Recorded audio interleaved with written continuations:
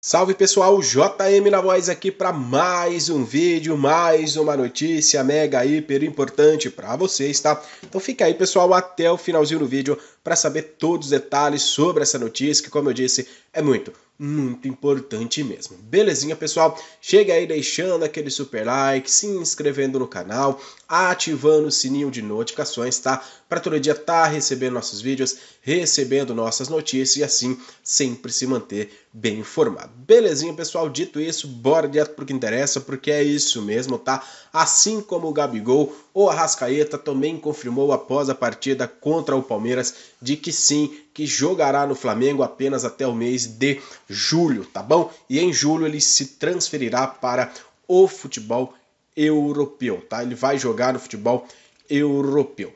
Não se sabe o clube, tá? Estão falando que é o Newcastle, mas o Arrascaeta, no acordo que fechou entre ele e a equipe, entre a equipe e também a equipe do Flamengo, ficou combinado de que ambos aí, as partes, não podem revelar qual clube é, apenas quando de fato o negócio for ser concretizado. Mas estão falando que é o Newcastle, tá bom, pessoal? Isso a gente só vai saber no mês de julho.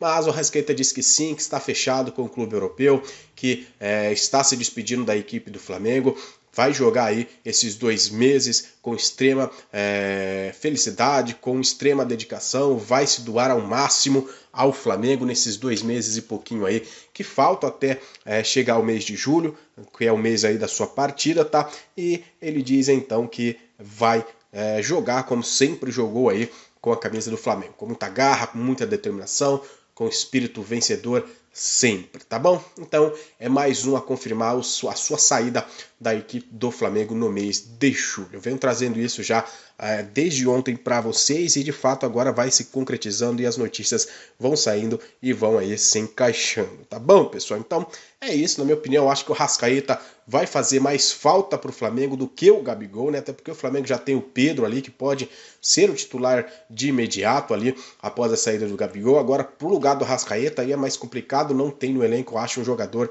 que tem uma qualidade parecida com a Rascaeta para ficar no lugar dele, né? Ou seja, o Flamengo vai utilizar o dinheiro, tanto da venda do Gabigol quanto da venda do próprio Arrascaeta, para trazer um novo meio-campista ali para a equipe, tá? Para ser aí o substituto, o sucessor do Arrascaeta. O Gabigol, eu acho que o Flamengo vai dar oportunidade pro Pedro, tá bom?